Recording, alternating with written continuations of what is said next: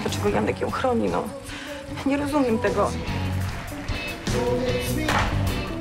Telewizja Kinopolska zaprasza na film Obietnica, który w ramach akcji Kultura Dostępna w sieci Kin Helios w czwartek 14 maja o godzinie 18 będzie można obejrzeć za jedyne 10 zł. Wiesz co, Janek? Po prostu wracaj do tej pomponiary. Lila, przestań. Czemu ta mała sprawa ma zniszczyć to, co jest między nami, co? Lila, przecież ja cię ciągle kocham. Anna Kazajak-Dawid, reżyserka Obietnicy, na festiwalu w Gdyni opowiedziała telewizji Kinopolska o realizacji filmu.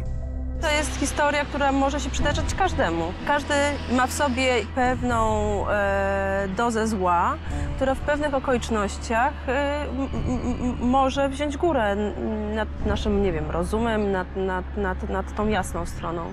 E, więc w tym sensie uważam, że to jest historia, która dotyczy wszystkich i że wszyscy są zdolni do rzeczy okrutnych, złych i, i, i, i nieprzewidywalnych. Wywiady z twórcami filmowymi oglądaj w każdą niedzielę o godzinie 19.40 w telewizji Kinopolska w programie obowiązkowym.